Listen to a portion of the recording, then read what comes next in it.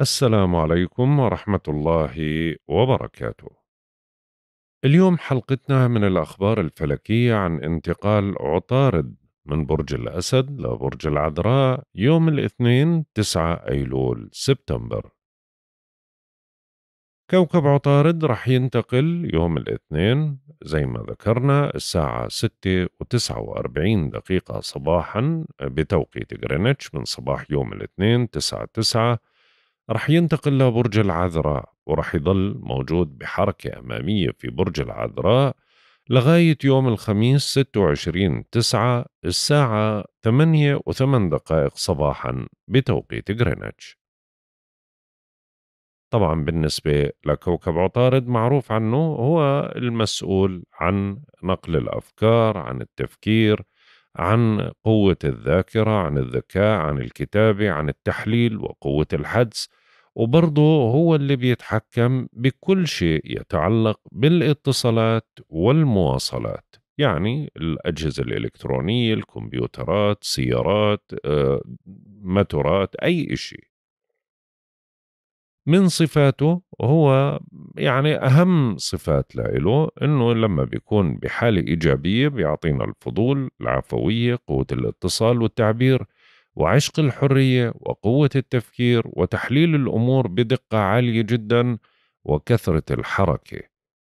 ولكن لما بيكون منتحس على طول أول شيء بيعطينا هي العصبية والتهور.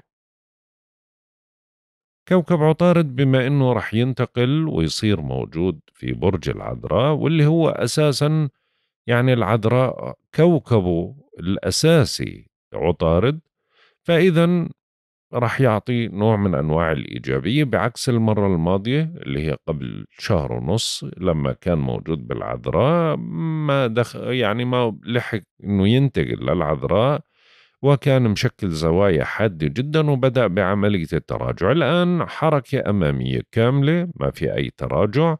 فعشان هيك الحركة الأمامية آه، تعطي قدرة قدرة عالية جدا على التركيز والتفكير على عكس الفترة اللي تراجع فيها اللي سيطر فيها نوع من أنواع التشتت فخلال الفترة القادمة بيشعر مواليد برج العذراء بالرغبة بالدراسة والمطالعة والقدرة على الإقناع إقناع الآخرين بوجهة نظرهم بتكثر عندهم الاتصالات والتنقلات والإهتمام فيما يتعلق بالاتصالات والمو...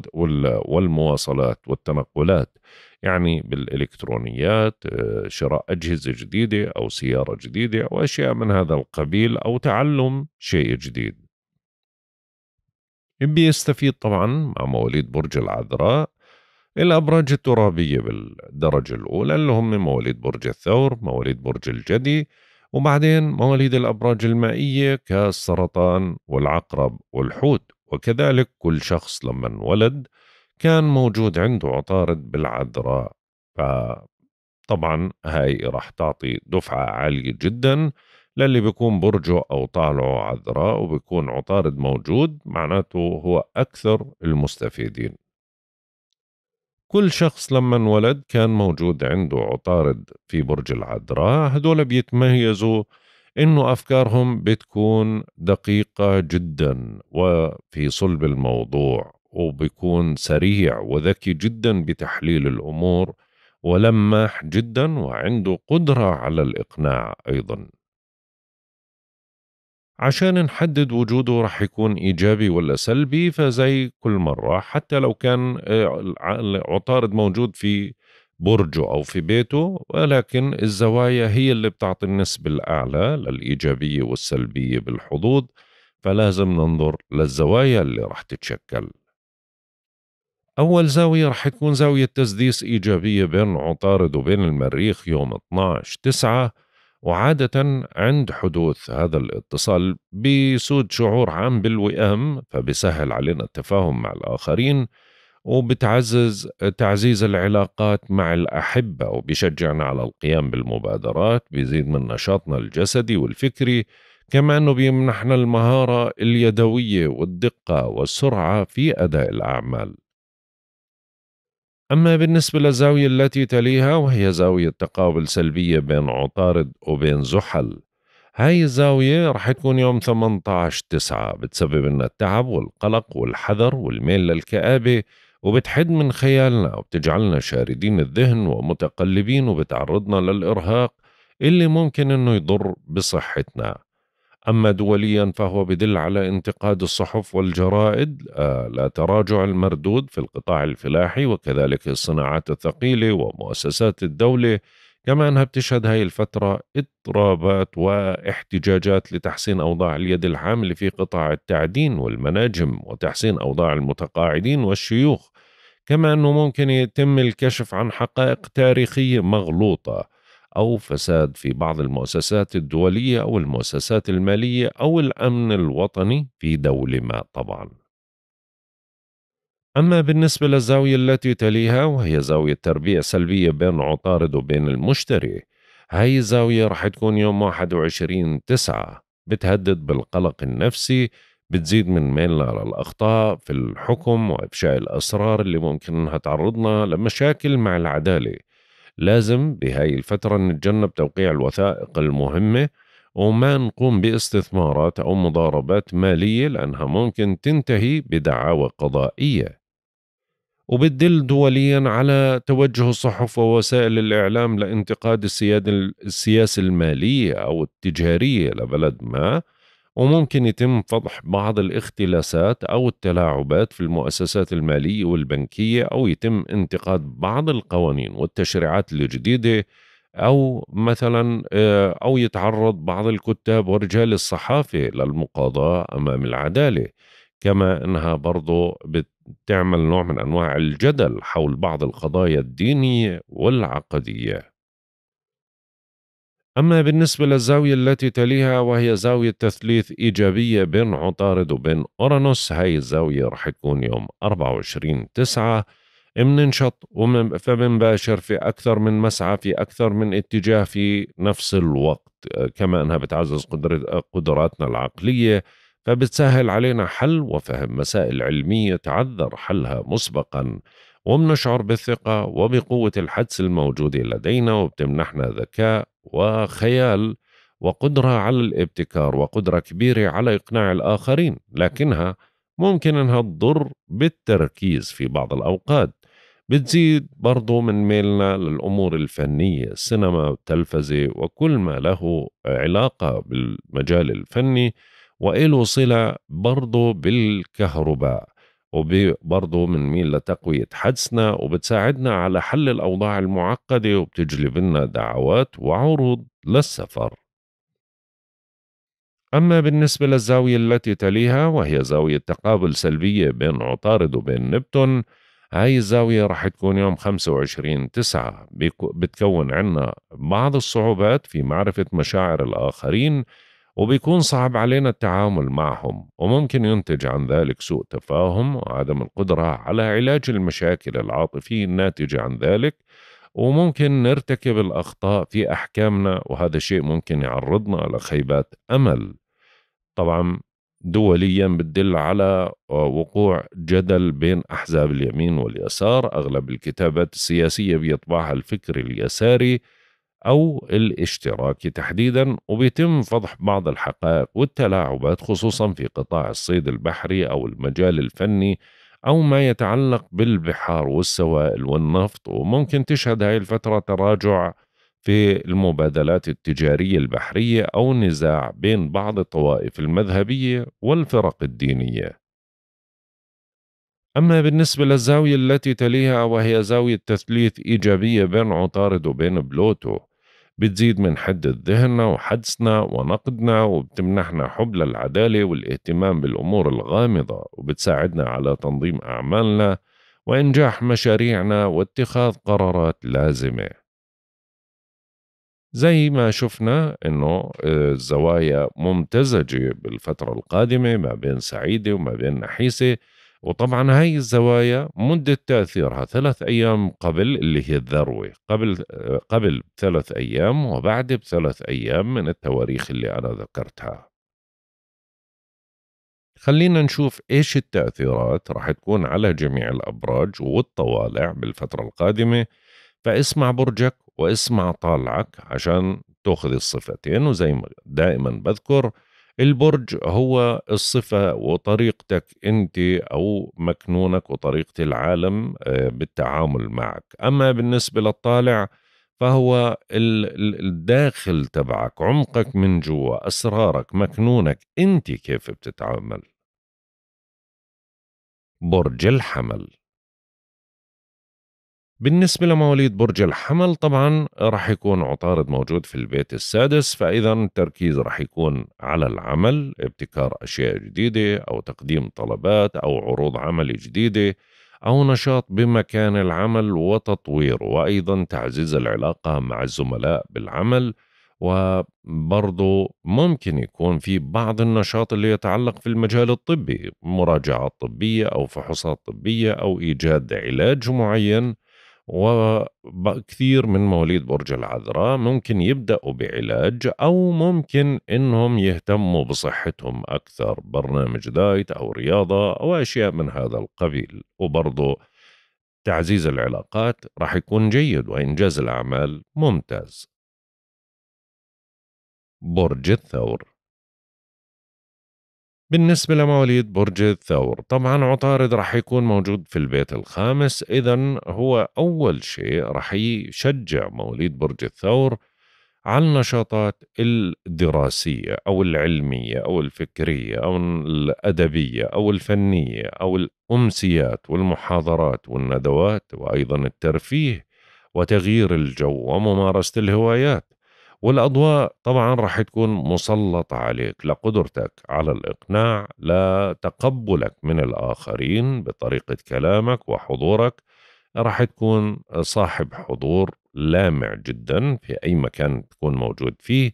إيه، وراح تجد الطرق الأنسب لتقديم الدعم المعنوي لأطفالك وبتدفعهم للتحصيل العلمي أو تشجعهم على هذا الاتجاه على المستوى العاطفي قدرة على التواصل مع الأحبة عالي جدا أيضا. وبعضكم ممكن يبدأ علاقة عاطفية جديدة. برج الجوزاء.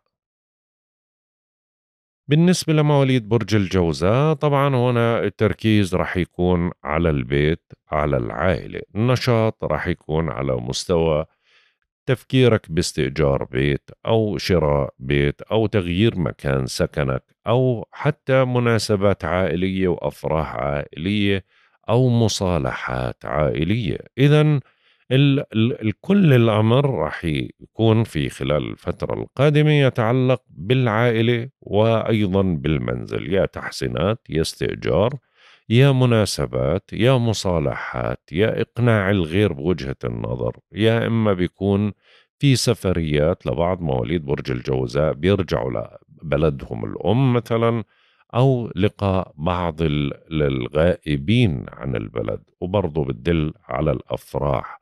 تحسينات وديكورات منزلية ممكن ونشاط بالأمور العقارية. اللي بيشتغلوا في المجال العقاري أكيد رح يستفيدوا بالفترة القادمة. برج السرطان.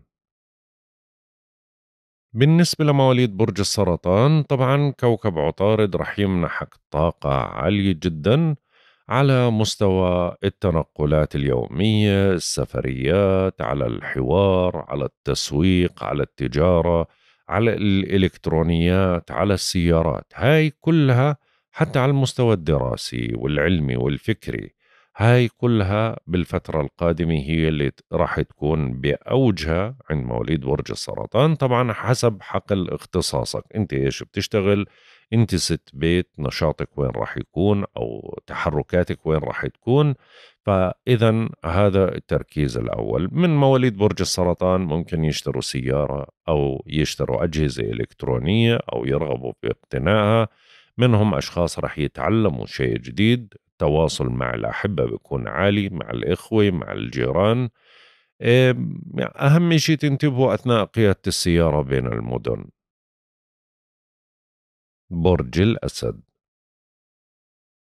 بالنسبة لمواليد برج الأسد طبعا هنا دخول العذراء على بيت المال أو البيت الثاني. إذا هي فترة رح ينشط فكرك بأعلى درجاته لكيفية تحسين أو تعديل الوضع المالي. صحيح إنه هو رح يدفعك باتجاه العمل الإضافي رح يدفعك باتجاه طريق كسب المال أو إدارة المشاريع لتحصيل المالي ولكن بدك تدير بالك من المصاريف الزيادة لأنه عندك رغبة أيضا بالإسراف عاليه جدا.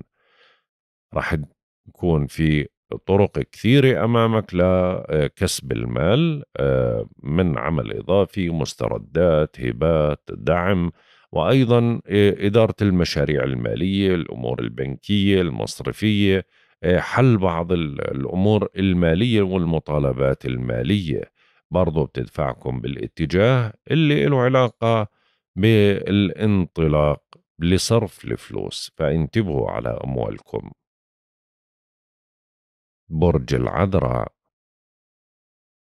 بالنسبة لمواليد برج العذراء طبعا آه، هاي الفترة رح يكون عندك القدرة العالية جدا على الإقناع آه، على التفهم على النقد اللاذع آه، على إيصال المعلومة أي على الحوار والنقاش. نشاط قوي رغبتك بالانفتاح بالدراسة بالتعلم بالاطلاع على أشياء جديدة راح تكون قوية. رغبتك ببدء ببرنامج معين إن كان تعليمي أو دورات جديدة أو اتصالات أو سفريات برضو بتكون بأوجها التنقلات اليومية والاتصالات المهمة بتكون آه، مجدية تقدر تضع من خلالها آه، أسس قوية في مجال آه، اللي أنت بتشتغل فيه.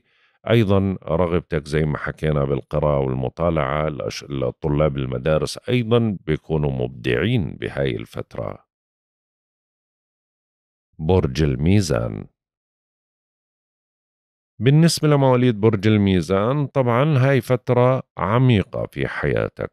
بتحاول فهم الكثير من الأشياء الغامضة. آه، البحث عن الأمور الكبيرة والأفكار الكونية والروحانيات أو الاطلاع عليها أو التأمل أو حتى الدين والعبادة أو بتحاول الغوص عميقا في بعض الأسرار.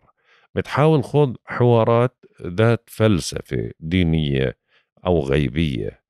كثير من مواليد برج الميزان ممكن مع الضغط وجود الشمس في بيت المتاعب الكواكب في بيت المتاعب إنه يكونوا عرضة للنصابين والمحتالين اللي بيدعوا إنهم روحانيين يروحوا لعلاج إنهم مسحورين إنه معمول لهم عمل أو شيء وهو ضغط فلكي بالأساس وما له علاقة بالروحانيات.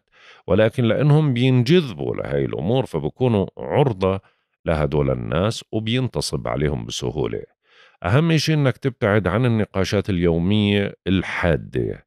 اللي ما في من وراها جدوى عشان أنت تريح راسك شوي تبعد عن المشاكل آه، قدر الإمكان. ممكن تلتقي أشخاص أو أصدقاء محددين آه، أو تبحث موضوع مستقبلي بالنسبة لك. وكثير من مواليد برج الميزان ممكن يقدموا لشركات كبيرة أو دولية.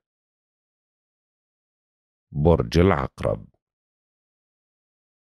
بالنسبة لمواليد برج العقرب أنت بالفترة هاي الشخص اللي بيجمع العلاقات الاجتماعية بأعلى درجاتها بيجمع الأصدقاء من حوله أقارب أو أجانب أو من نفس البلد ولكن في كثير من المعارف رح يدخلوا حياتك بالفترة هاي.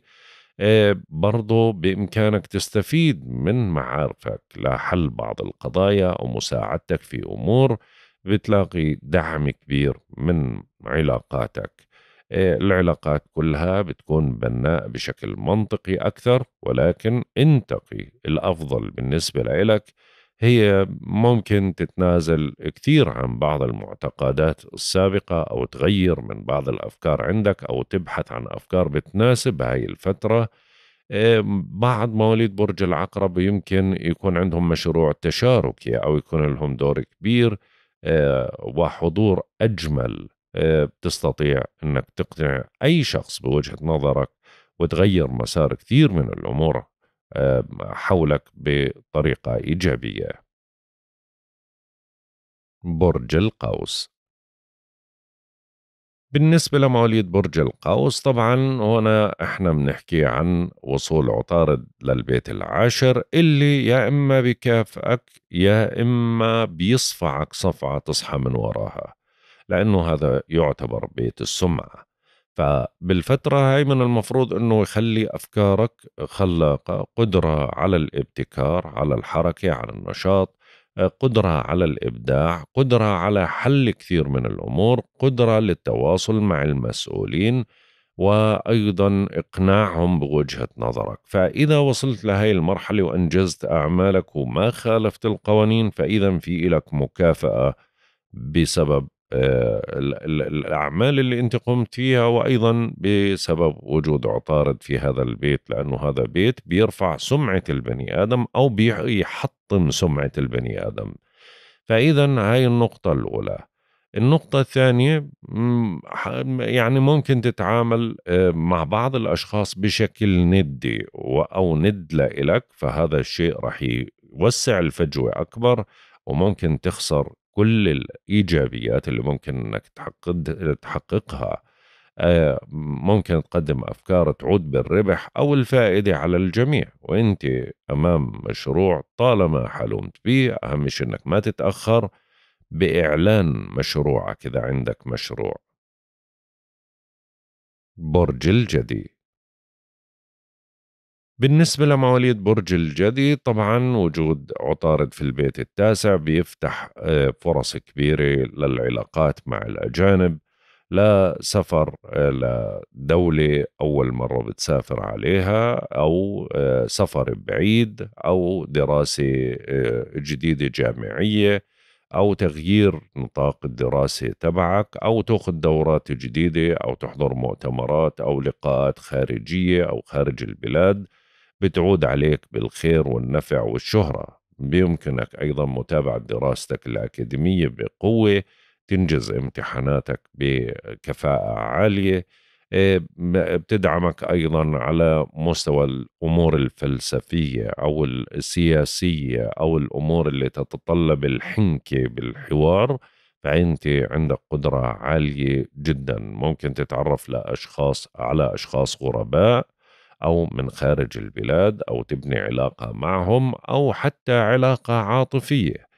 بعض مواليد برج الجدي اللي بيشتغلوا في مجال الاستيراد والتصدير أيضا بيستفيدوا بشكل كامل وممكن توقيع وثائق مهمة زي هجرة أو إقامة برضو بالفترة القادمة بتكون لصالحك. برج الدلو بالنسبة لمواليد برج الدلو طبعا التركيز رح يكون على الأموال المشتركة. الأموال اللي معك شريك فيها اللي هو بنك ضريبة تأمين ميراث آه، أموال الزوج أو الزوجة أو مطالبة بحقوق لإلك أو أموال لإلك. إذا هذا فترة إلها علاقة بالأموال المشتركة والحسابات المالية. آه، كل الأجواء رح تدور بهذا الفلك.